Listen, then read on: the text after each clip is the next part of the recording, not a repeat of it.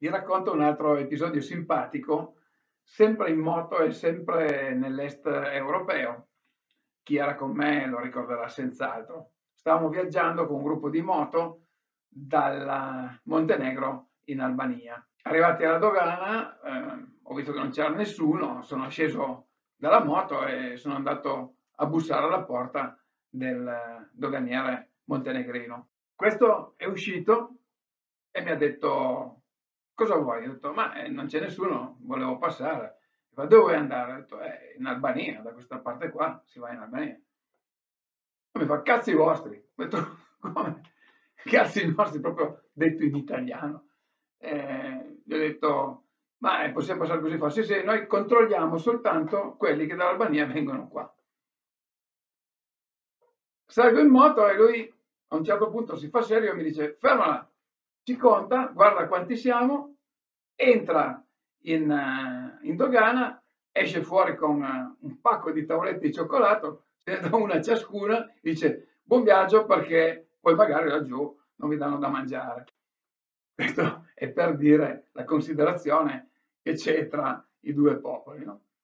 Arrivo alla dogana eh, dell'Albania, dove invece il doganiere era presente, un Marcantonio alto 1,90 m, come quasi tutte le popolazioni balcaniche, si tratta di persone belle corpulente, mi guarda e mi dice, di dove siete? Dico, è dell'Italia, Piemonte, provincia di Cuneo.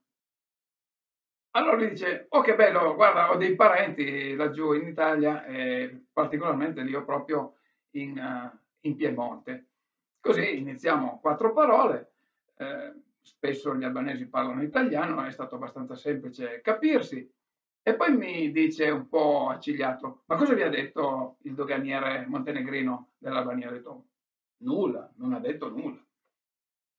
Lui mi guarda un po' sospetto, poi mi dice, ma vi ha dato qualcosa? Ho detto, guarda, il doganiere ci ha dato del cioccolato.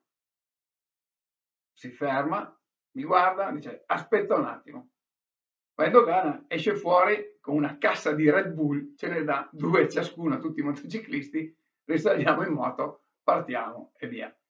Ovviamente si tratta di merce che prendono i camionisti di passaggio, però è un episodio molto simpatico, divertente, anche in questo caso che riguarda la difficile convivenza tra i popoli di confine, che ovviamente si è risolta bene. Tra l'altro in Albania noi siamo sempre andati benissimo con le moto. L'unico problema è il traffico che è abbastanza scorretto e così certe volte crea qualche problema, bisogna stare un po' attenti specialmente nelle grandi città, eh, in particolare Durazzo, eh, Scutari e soprattutto Tirana.